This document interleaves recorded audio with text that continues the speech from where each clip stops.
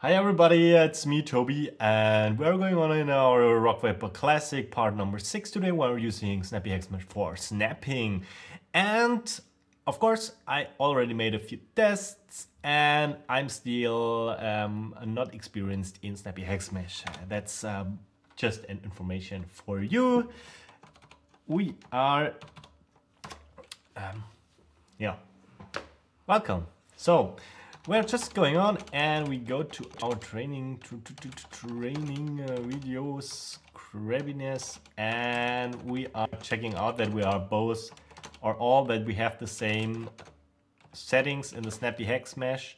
so this is uh, false still now this was true we have our uh, geometry we created um, the castellated mesh using I hope these settings if not just um, change these settings here.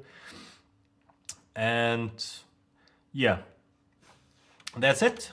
And what we are doing is we um, call snappy Hexmesh to create our castellated mesh. So probably you already have it.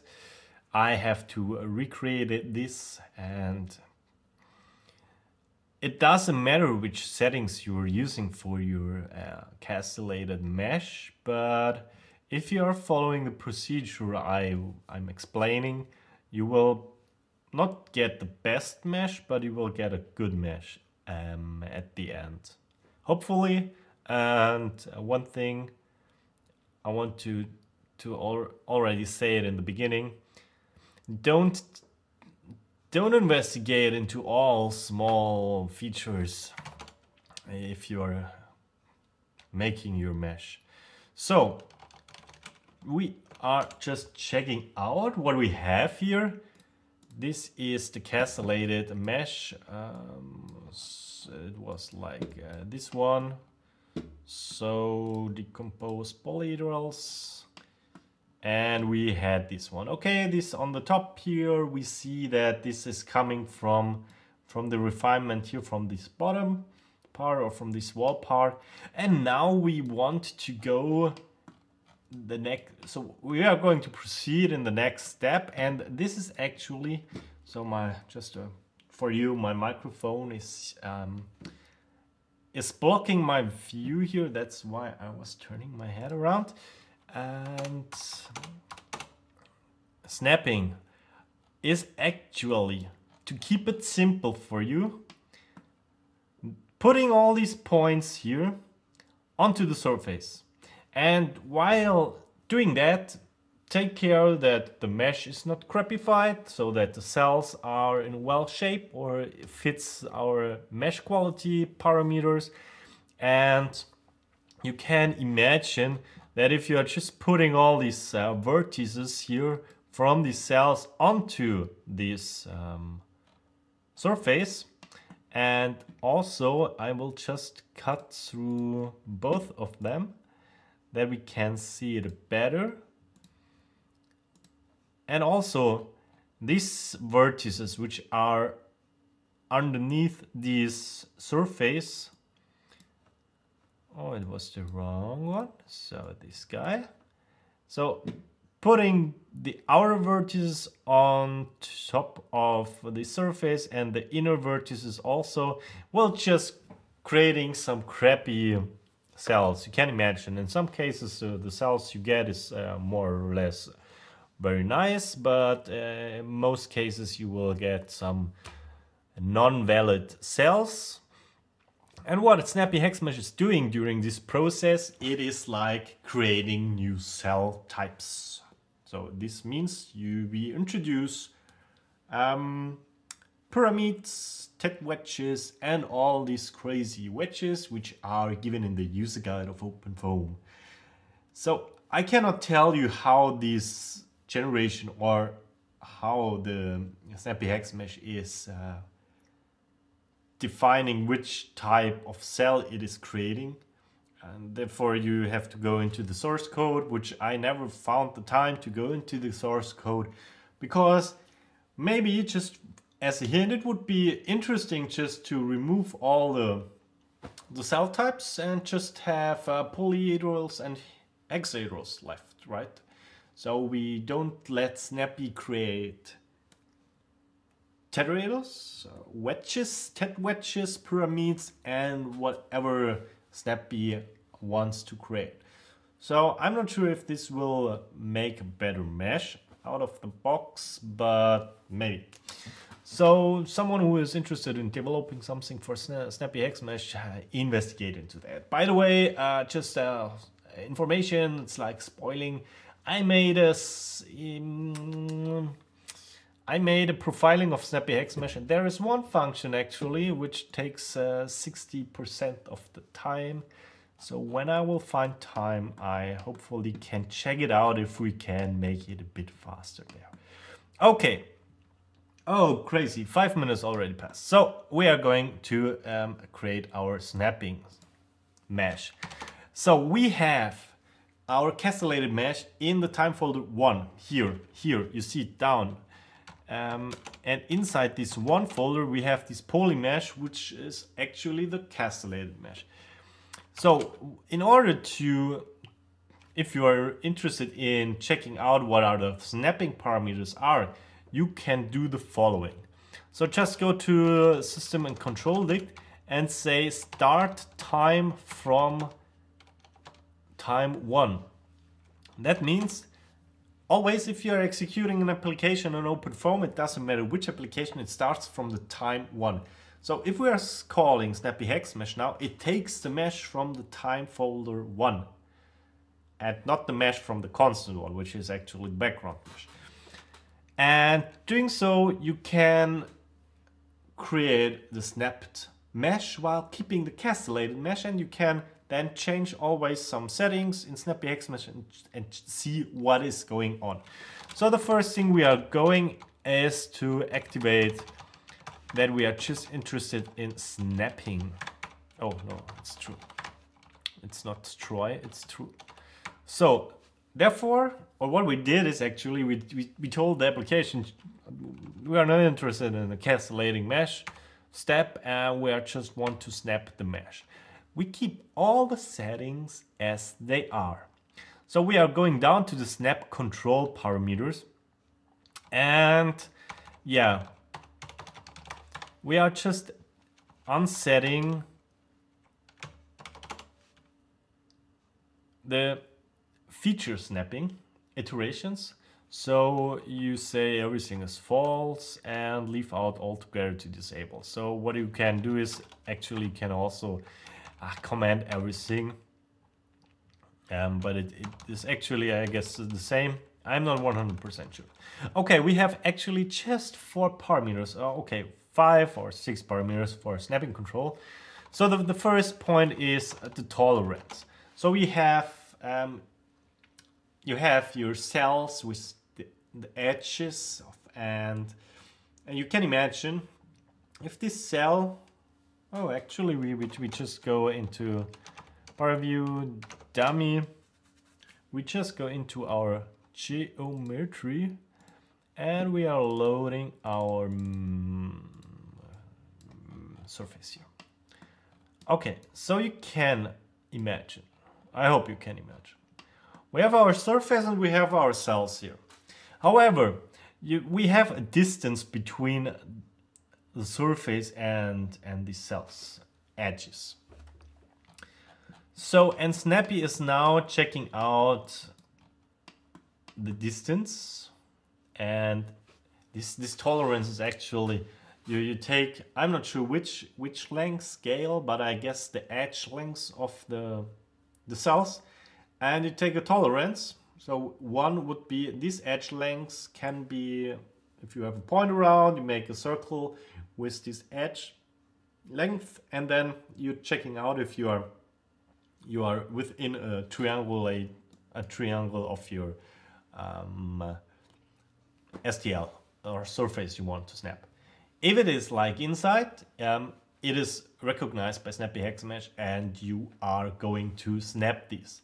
So if you're saying the tolerance is 0.001 or very small, then you limit Snappy Hex Mesh that is checking out, okay, we have here our cell and here's the surface. On this cell, we are reducing the tolerance. So we are the, the length scale of interest around, I don't know, point or something like this, is getting very small. And if the surface is here and the circle is here, it is not, oh, no, we there is no surface, so we don't snap.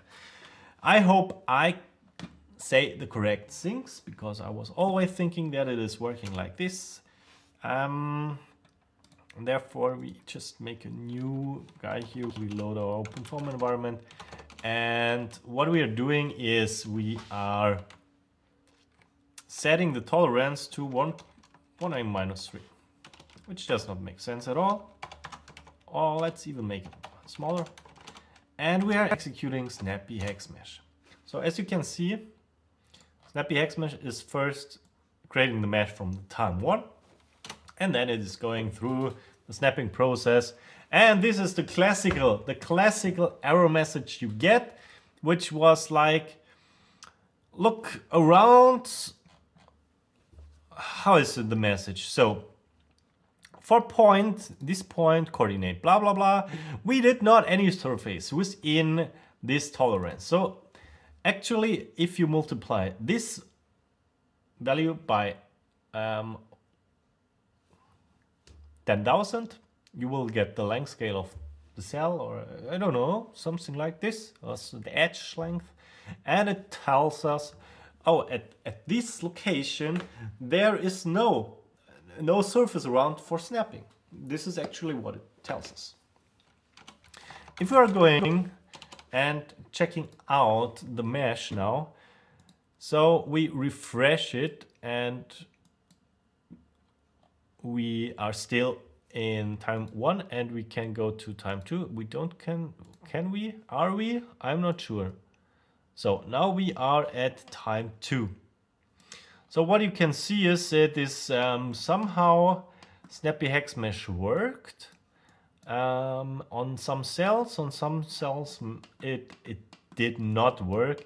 So you get a an interesting, yes, interesting surface. However, actually it's out of the box it, it would work so you can you can use this mesh right you also can use the castellated mesh uh, that that's not a big deal so as you saw it worked so now if we are changing this parameter that Snappy Hex Mesh is taking into account um, more um, you see um, we're starting again from time one. That means our surface or snapped mesh is now going to be overwritten. Even even though we are just um, yeah executing snappy hex mesh again this is a nice feature and as you could see, there was no message um, which which told, oh, here we do have, okay, I'm sorry, we have two. But it's uh, much less than before. And if we are refreshing our mesh, oh, look, it's getting more smooth. You see? Okay, we do have here some craziness things um, I'm going to explain this uh, right away. These artifacts is in former Snappy Hexmesh version, versions. Um, I go back to version 1.7. There was an external tool called Snap which get rid of this. I'm not sure why Snappy Hexmesh is actually doing this, but it is something with the algorithm and creating meshes completely automatically in this kind of meshing is not as straightforward as if you have a complete tetraeder or triangulated surface and you create from this triangulated surface polyeder meshes or something like that. Even this is not straightforward. Um, mesh generation is in, in common a complex point and you should take your time for creating your meshes because a mesh is actually, um, yeah, if you have a bad, if you have a good mesh, let's say it in, a, in that way around, you are more happy with your numerics. Okay, so you could see that this is some influence of this tolerance. So if you're making this tolerance, by the way, let's say, okay, I don't care, I want to have a tolerance of 100. So if this is the, the, the, the edge length, so use like this, this big tolerance. Um, then it's a problem because if you're making a circle around, it's getting bigger and you have a lot of more surface points inside. So which one to choose? Yeah, this is um, uh, a thing yeah, imagine you have small gaps. So you have, um, like we have here, we have uh, a wall and you make the, yeah, the, the tolerance too large and it takes the other side of the wall. So we are pushing these cells onto these surfaces, but it is taking the other surface into account. So, well, it will not work out of Okay, this was tolerance. The the other thing which which which you see here is the snapping problem on feature edges. Therefore, you have two options, which is um, either you are saying implicit feature snapping, so Snappy Hex Mesh is doing it. I'm not sure about the gender of Snappy, um, yeah, so Snappy is, is doing the work for you. And if you are, you say, okay, I don't care about what, what Snappy is doing because you have a very complex geometry and the explicit um, feature, no, no, no, no, no, sorry, the, the implicit uh, feature snapping true is not working out of the box um, for my mesh, you can also create explicit feature snap. If you are using the explicit other way around, the implicit feature snap just um, takes uh, two parameters. So the, the feature snapping iteration, that means how often is Snappy Hex Mesh putting these points to these features and making smoothing iteration. I'm not 100% sure how how the algorithm is working. Again, I was never, I had never the time to investigate into that. Um, nevertheless, but um, yes, if you are just saying surface feature snap is one, probably in the first shot you will get a snappy, you will get snappy to to work out of the box um, in this to, to fit these feature edges. So while Snappy Hex Mesh is um, running here, you see some some errors uh, or problematic. It's not an error; it's an a problematic uh, thing, and we were discovering this later on. So back to the implicit surface feature snapping. So if you activate this, you see it is getting snapped to these feature edges um, much more, right? So you really can see here this feature snaps or yeah, these cells who are snapped to this feature. So now people are coming, oh crazy, look at this, look at this crappiness here. So my opinion, I don't care about that. Um, you can you can make 100 nice or if you want to create an, an 100% accurate mesh, you can use triangles and tetrahedrons and you can convert it to polyhedrons. Or in order to, to, to remove these, now you can play around with the snapping parameters. So, um, for example, we make these, just let's make it 10 while we keep the other the other iterations and parameters as they are. By the way, um, yeah, just you have to do the work yourself. So you have to don't make it, uh, don't use a, a complex geometry, use a simple geometry and then play around with these parameters. All right.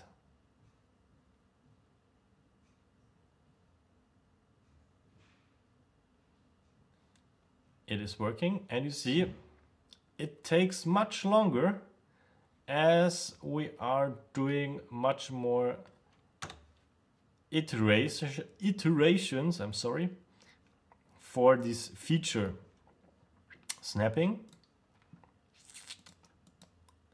And you see all the guys are gone, most of them. So Snappy Hex Mesh is not just putting these uh, points onto, onto the, the surface.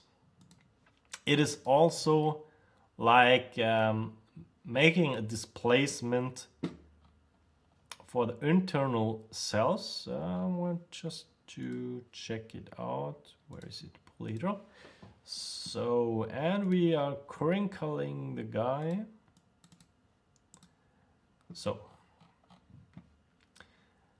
for example, if we are taking, let's take this, this view, and we are deactivating this parallel projection, then we, we can see it more carefully. So you see here, these cells, which are pure hexaeder cells, they get a bit like shifted and this introduces non-orthogonality. And there was a comment from an OpenFOAM user um, which said that uh, CF meshes by making during the, the castellated mesh I'm not sure if it's in the castellated mesh, but it does like making it introduce already like some non-orthogonality, which probably, if you have these cells like this way, always so that the faces, which will, if you're not aware about what I'm talking, it doesn't matter. The only thing you should you should um, take into consideration is that you push the points onto the surface and you also change the internal mesh. So it's like a smoothing iteration, like a Laplace equation you solve. You have like a displacement and then you solve a Laplace equation for smoothing out internal mesh that the cells which get like pushed onto the surface, they will get a better mesh quality. So, okay, so out of the box, I'm I'm very happy with this with this mesh. So I would just use it. But we are going on. We are we are just uh, going on, and to see what what, what we can achieve um, more. So here, for example, you get like crazy cells. They are extremely huge and like the aspect ratio or they, they just get pushed up or get merged with other cells. So in order to resolve such problems, I would just make a refinement here. This I would just refine. Uh, in in in other in other words, if you have two less cells you can play around with all the parameters, but you will never get a, a sufficient mesh here. So what, what you can do is you could put a, cylinder here and you could remesh it, make a new castellated mesh. Um, by the way, you can also start from your castellated mesh and but then you have to remove everything inside and then you introduce the cylinder you want to refine um, while taking the, the old castellated mesh and then you, you can get rid of this. Okay, and also here, well, this is a tricky part because the surface is not aligned with the XYZ plane or some uh, plane which is uh, normal to, to the, the Cartesian coordinate system. So which makes this a bit tricky to handle, even this uh, this face is like concave or yeah the, this outlet inlet completely is concave so we will see if we can check it and and make a more reliable mesh here so now you can you can increase the tolerance in order to get rid of these three, four error messages. So you, you see here you have like the number of um, displacement relaxation iterations and so for this you, you, you have to analyze what Snappy is doing here. So it is like moving the mesh and then it is making this displacement. And what it is actually doing so you see here we have after the displacement min max yeah is completely done. Bam you have cells which are not very happy because um, they get crazy sh shapes or whatever. Then you're making like you you make this displacement scaling and you see um, while you are proceeding and reducing the scaling you are getting rid of these problems more or less. And you can now think about okay we have here around 600 cells or, or faces which has a volume smaller or less than 1 to the power minus 13 square meter. And we have a face decomposition quality which is smaller than 1 to the power of minus 15. And we have concavity and we have face twist. And now you can get yourself crazy in resolving this. So Snappy is like, you see, it is this uh, displacement scaling factor. It is reduced until we are going to, to zero. And then it is uh, doing again a displacement and again a displacement in order to smooth out the internal mesh to get um, all to resolve all the errors. If you are going up, up, up, so you see here this was a morphing iteration. This is a, um, it's always the same. It's like so this morphing iteration, which is uh, based on this surface features iteration. So we set 10. So we therefore we make eight of these uh, iterations. And within of eight, within each of these iteration, we are dealing with um, smoothing, in, internal mesh displacement, and all this stuff. So, and therefore you can, so what you see here, you are making the smoothing displacement. So you smooth the displacements into the internal cells, which is only 20 iterations. So what we have now is we, oh, where is it? We have now, ah, let's just make 500. Who cares? Uh, we are starting again running Snappy Hex Mesh.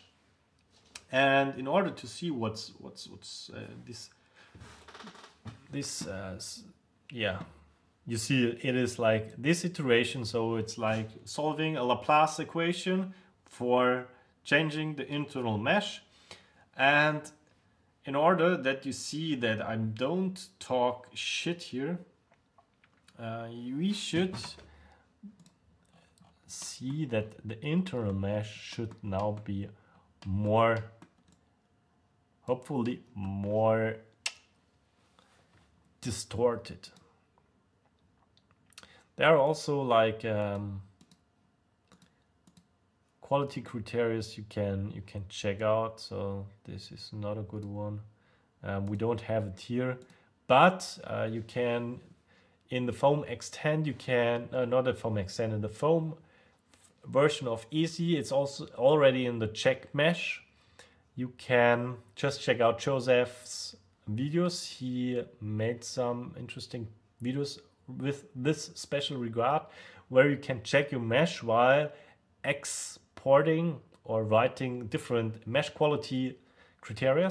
I also do have a video about this, but um, this is an addition to the foundation version where I also created an X function object, which is actually taking these fields out, such as um, volume, cell volumes, and cell types, and non-orthogonality. So the mesh was created, and you see today it's more more uh, history. So yeah, it was not really obvious that it is now more more smooth um, but actually this this is uh, from it changes depending on on what you what you need and which geometry you are investigating so going back let's just do 10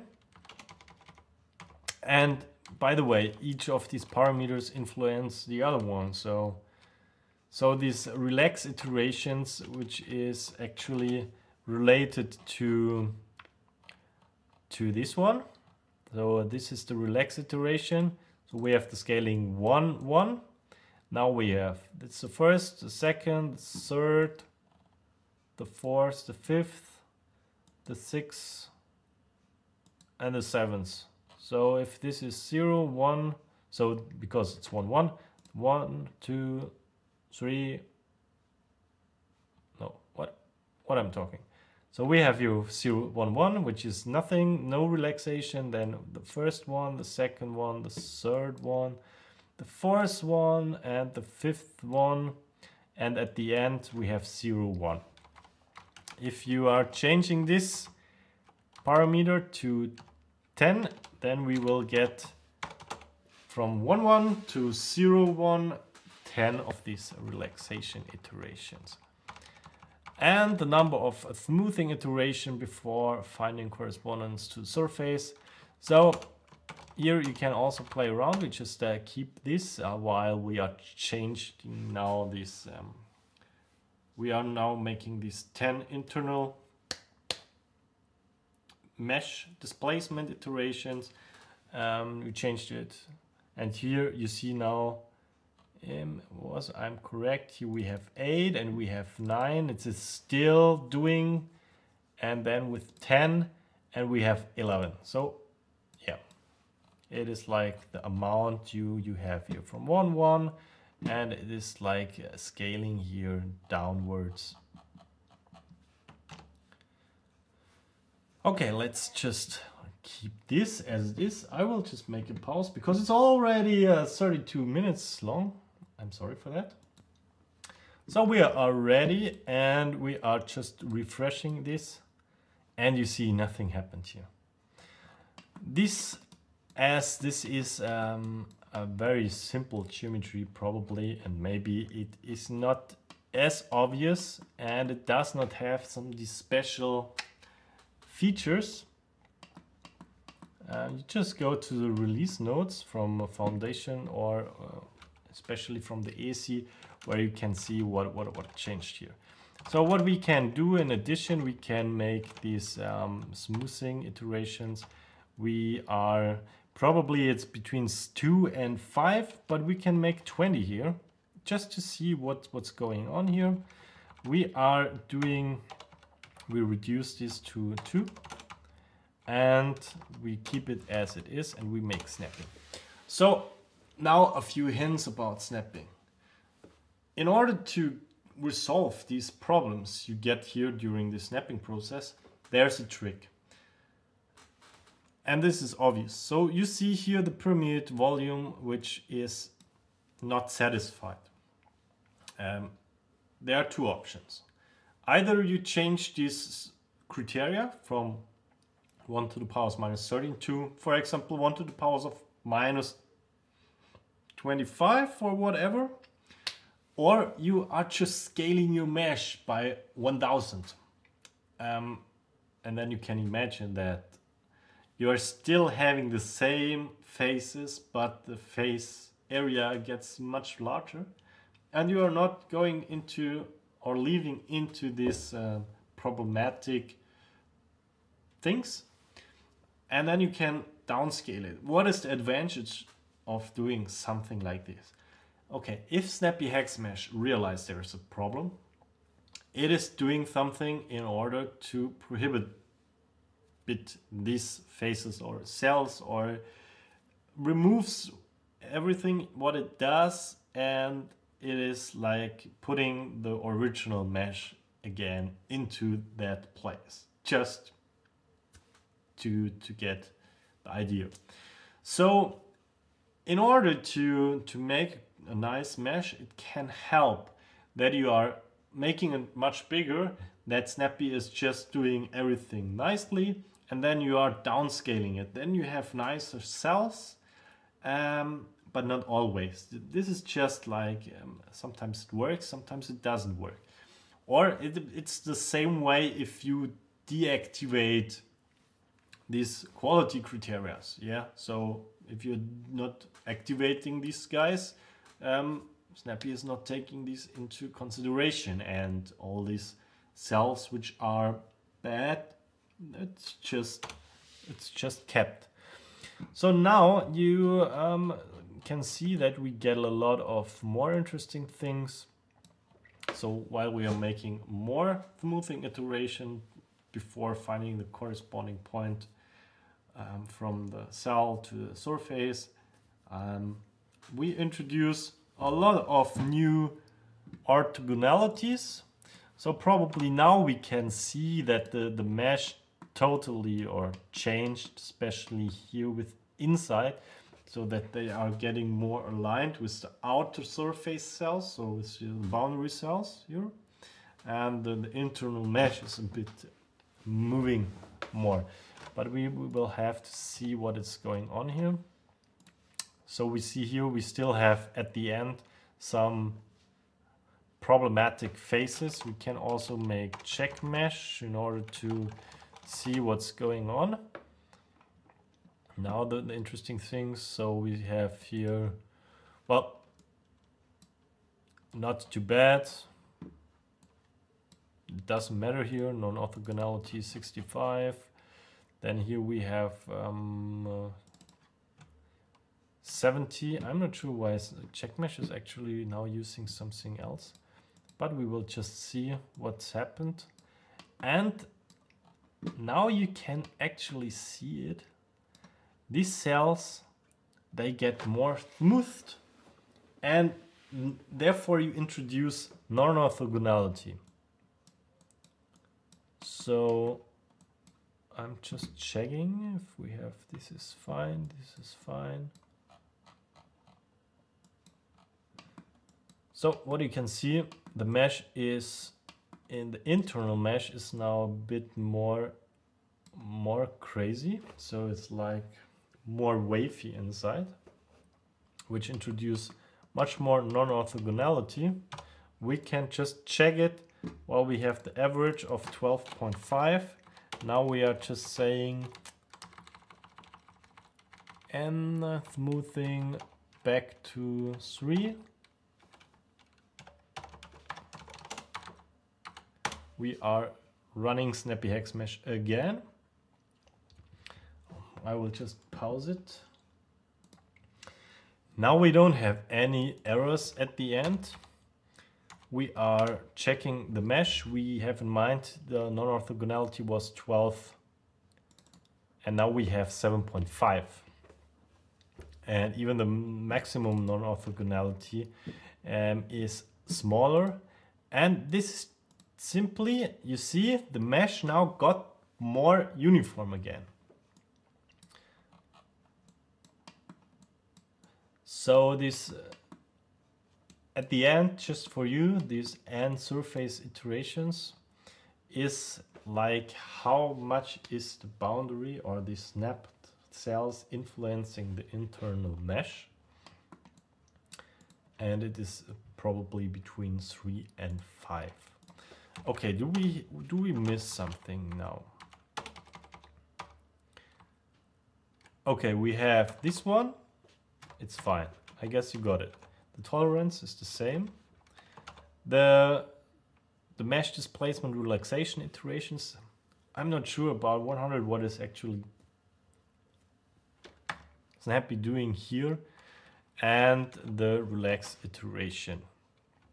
Then we have the surface feature snapping. It's like this morphing phase. The more you have iterations you have here, the, the more morphing iterations we get. And we have here this implicit and explicit feature snapping. I'm most of the times happy with the implicit feature snapping. Sometimes I'm using the explicit feature snapping. So you have, if you do that, you have to put these feature edges into this part and you then can use this explicit feature snapping. I'm using this explicit feature snapping always if I do have, yeah, well, uh, the features already created. So if I have the features of my geometry, if I made the work to create these features, I will just put them in. And if you're using some something like this, please check always your feature edge mesh. Because sometimes you have doubled or three times the same line at the same position and yeah, which one to, to choose. This is commonly the, the, the problem if you don't have watertight surfaces. So you have like a corner and the other corner which does not if these are the points it does not fit. So if these are the, the triangles also where I'm looking at. So if, if this is like the tr one triangle and this is the second triangle which does not fit exactly at this point you get different feature edges. Um, I recommend Blender for this part. Okay this was everything for this uh, snapping. As you could see, it's a bit more complex and it is not as straightforward to explain. Uh, probably I'm not the best one who can explain this, but um, as I'm working with Snappy since ever, I wanted to have this also in within this yeah training video series and probably you have now a better idea what's going on. So just again recall this guy is like how much influences the, the, the outer domain, so the snap cells into the internal one. So you smooth it out, uh, which is good on the one hand, so because you get a smoother, um, yeah, you get smoother cells from the boundary to the internal, so it's more smooth.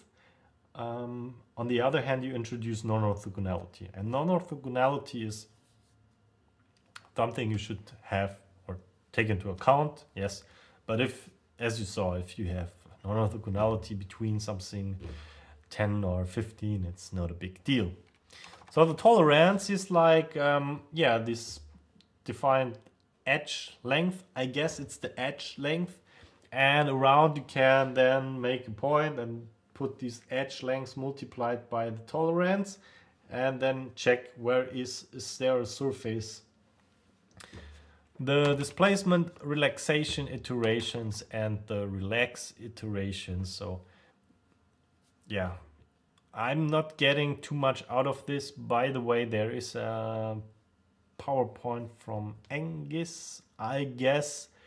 Um, which explains a lot of things with that regard. One moment. Yes, just um, check out Snappy Hex Mesh Comprehensive Tour. It is on the wiki and it is from Engys from 2012, which is um, a bit old, eight years old. But here you get a lot of interesting things. So you go through the, the castellated process to the snapping, implicit wrapping, I guess probably Engys also made um, extensions to snapping. And here you have um, interesting points how different keywords and settings are, yeah, what does it mean, how you have to set it up. And here it's um, even more clearer as I explained it with, with my hands because you have a a nice drawing here. So Engys made a, a good one here, a very good one, PDF, our presentation. I really like it. And if we go go through this um, uh, snapping procedure, which is here, we have yeah the nth smooth patch number of pre-smoothing iterations of patch points before projecting to the surface is performed. So yeah, scaling of maximum edge length for attraction to the surface. This was, um, and here edge length, oh, then I was correct. A number of interior smoothing iterations applied to snapped displacement field, control number of scaling back iterations for error reduction. So now it's more clearer. So the N relaxes this error reduction where you, as you can see, when you are doing the snappy hex mesh, this is the scaling back. And if you are scaling back, you get rid of errors starting with 800 and then you get more rid of these guys. Okay. And at the end, was there something I wanted to to tell? No, I guess it's it's fine.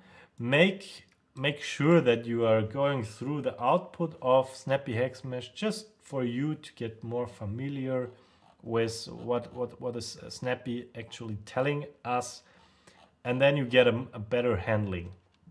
So for our case, I'm actually satisfied with this with this mesh. The only thing that is not too nice for me is this part which is really tricky to handle and now you get also like very like um, it's like a unicorn here right um, this is tricky so in order to avoid something like this, um, you could extend your geometry in order to align with the Cartesian coordinate system again. But as you see, even in this simple geometry, we do get problems while snapping here this surface. So what could help here? The first thing what could help is that you make this these cells, so the refinement of three, I guess it is here, you make it more. You, you push it more into the inside, that you have more cells in order to be smoothed out for this one. Um, I don't think that making these cells much more or even more finer here will help, probably on the corner. And of course, here around we can also check out this mesh so here around we could make more cells even here which is not needed but actually here so here we get really crazy cells um, so what, what you could do is, because this is a tricky part of, of the geometry itself, as you can see here, you get like, this is really terrible for meshing this corner. And sometimes you just realize this after you, yes, what is going on? I will it is work, working working. Oh probably it's probably it's no no. I will pause it. So I don't know. ParaView is like um, not working right now so it was crashing. Doesn't matter. So you you, you know um, if you have like this is the volume and you have like an an edge like this it's very crazy to mesh so probably it is better to to cut here the geometry that you have like this rather than having a, a straight angle. Um, probably I will remove this from the geometry and then we will go on in layer generation. And even in layer generation you will see that I'm not the expert in but I have some tips and tricks for you. Um, that's that's it for today. It is 50 minutes. I'm sorry for that. I hope it was not too boring and you are still satisfied about my knowledge in OpenFOAM because uh, even though I use Snappy Hexamesh for so long time, you see that it is tricky sometimes and even though I don't have always all parameters in mind, but this is not a this is nothing I'm I'm afraid of because OpenFOAM is a very huge toolbox and meshing is a topic which just which requires a lot of knowledge. And in the layer generation we will see it is it's even more critical and more complex. So thanks for watching. Um, we will see us in the next part. And probably I will add some extended videos regarding snapping with Snappy Hexamesh but in an offside topic, not related to this project, because I think you guys all want to go setting up the conditions and getting some colorful pictures and animations and yeah I guess we will just stay with the mesh we created today um, and and we will see how this will fit and work out. So in that sense, I wish you all the best and take care. Bye. Yours, yours, yours sincerely, Toby.